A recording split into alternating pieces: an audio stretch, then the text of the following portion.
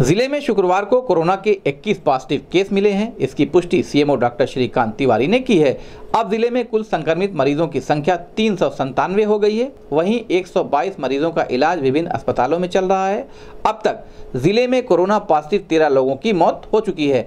इसमें शहर के कूड़ाघाट में एक मियाँ बाज़ार में पाँच, सिटी मॉल के निकट एक, फातिमा हॉस्पिटल में चार, रेलवे चिकित्सालय में एक, तुर्कमानपुर में एक और राजघाट में एक मरीज़ के अलावा खोराबार के बड़गों, बेलघाट, मगराहा, बास गाँव के विशुनपुरा खजनी के रुद्रगोला गाँव में एक एक एक कोरोना के पॉजिटिव मरीज़ मिले हैं। सीएमओ डॉक्टर श्रीकांत तिवारी से मिली जानकारी के अनुसार ज़िले में कुल संक्रमितों की संख्या तीन हो गई है। इनमें दो सौ बासठ ठीक होकर घर जा चुके हैं, जबकि तेरह की मौत हो चुकी है।